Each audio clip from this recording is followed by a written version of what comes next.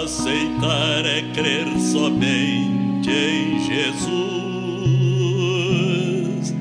que para me salvar morreu na cruz e ao chamar-me para eterna luz, estar pronto a responder, estar pronto a responder.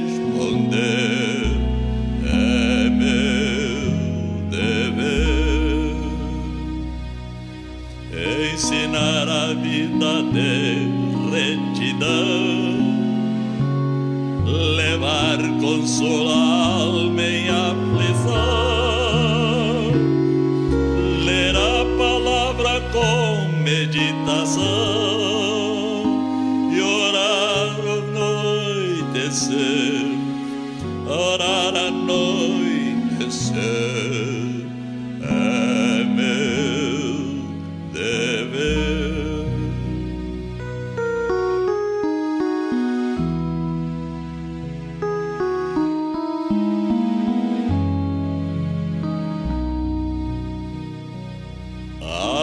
consagrar e honrar a Deus, meu Senhor,